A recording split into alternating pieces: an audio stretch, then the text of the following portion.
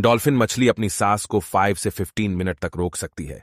केवल यही नहीं, यह मछली एक आँख बंद करके एक आँख खोलकर सो सकती है। डॉल्फिन दुनिया के सबसे बुद्धिमान जीव होते हैं।